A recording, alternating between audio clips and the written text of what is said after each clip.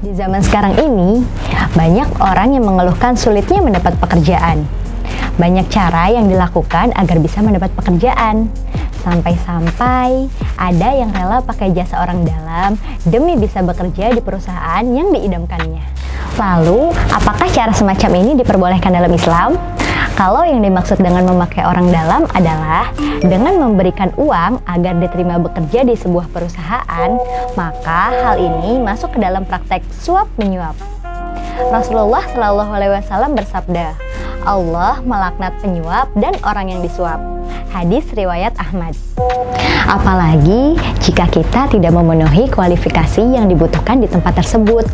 Bisa-bisa kita menzolimi orang lain karena salah memegang amanah maka carilah kerja dengan tetap mengandalkan Allah dan sesuai caranya.